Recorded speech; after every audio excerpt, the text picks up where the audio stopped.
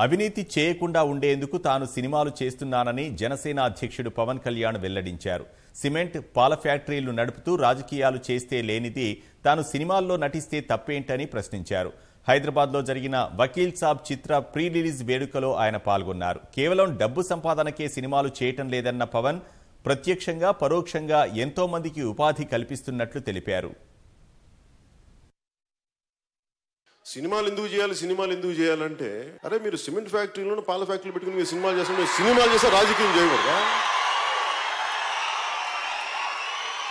నేను సభలో కూడా చెప్తా ఉన్నా. ప్యాకెట్ క్లబ్లు నడిపే వాళ్ళు ఎమ్మెల్యేలు అవ్వచ్చు పైరివీలు చేసేవాళ్ళు రాజకీయాల్లోకి ఉండొచ్చు. ఒక లక్ష లోపు వచ్చే ఎమ్మెల్యే పదవికి ఎందుకంత తప్పని పడిపోతారు?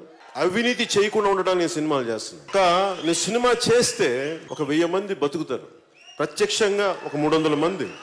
పరోక్షంగా ఇంకా ఐదారు వందల మంది బతుకుతారు. దాదాపు వెయ్యి మంది. ఒక సినిమా రిలీజ్ అయితే ఎంతమంది ఉపాధి అవకాశాలు లభిస్తాయో. కాదు సినిమా అనేది ఏదో మేము డబ్బులు సంపాదించడానికి కానీ ఒకటి కాదు. పది మందికి ఉపాధికి కూడా. సో పరిశ్రమ కళకళలు ఆడాలి అంటే అది నేను కోరుకోలేదు. సినిమా వస్తే చేస్తాను. కథలు బాగుంటాయని చేస్తాను. అంతేగాని కేవలం నేను డబ్బు సంపాదించడం కోసం నేను చేయను.